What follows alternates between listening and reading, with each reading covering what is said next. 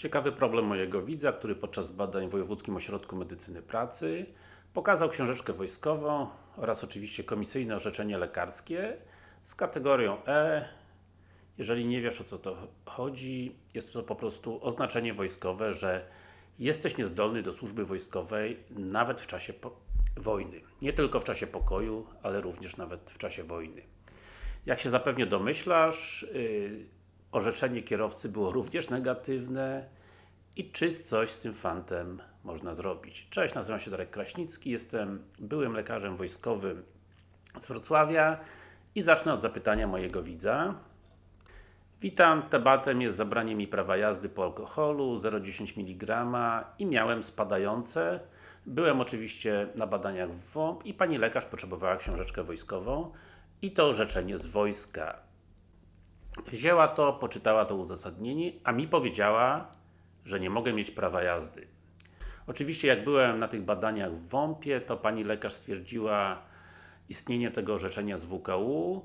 Y, pojechałem do WKU się spytać, czy rzeczywiście mają prawo do tych orzeczeń lekarskich, do tych orzeczeń komisyjnych, a tam powiedziano, że nie mają się nimi posługiwać, bo to jest tylko do wojska i nie jest to potrzebne do prawa jazdy. Co dalej mam zrobić? Niech mi Pan podpowie.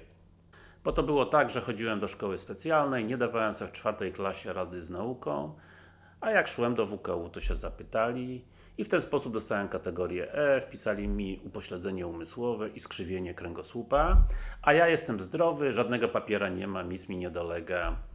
No i oczywiście psychotesty mam pozytywne.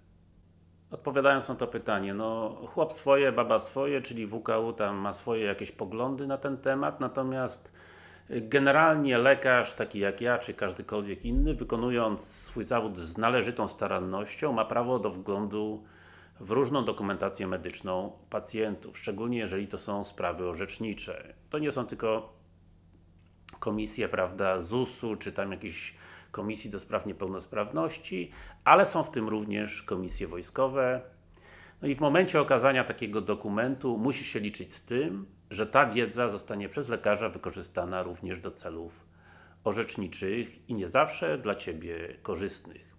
Bo w tym przypadku przecież ten kierowca stracił prawo jazdy, no i wątpię, żeby odzyskał je w trybie odwoławczy, w odwoławczym, który zresztą według dalszej części maila rozpoczął. Na tym kończę. Jeżeli to wideo w czymś Ci pomogło, daj oczywiście daj lajka, daj kciuka. Jeżeli jesteś po raz pierwszy na moim kanale Lekarz Medycyny Pracy, koniecznie dokonaj subskrypcji. Oczywiście tutaj poprzez linki po mojej prawej, po Twojej lewej stronie, jak patrzysz od strony monitora. I w ten sposób otrzymasz od razu najnowszy materiał i na pewno niczego nie ominiesz. Natomiast tak na marginesie, warto, abyś czasem pomyślał nad późnymi konsekwencjami swoich czynów, prawda?